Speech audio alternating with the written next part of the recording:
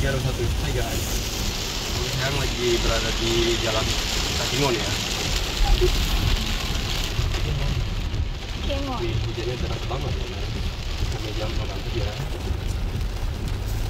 Jejak pertualangan sampai jam 4 guys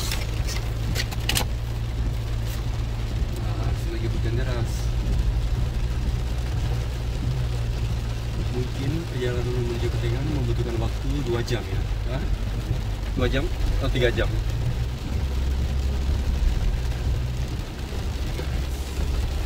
Nah, di sini banyak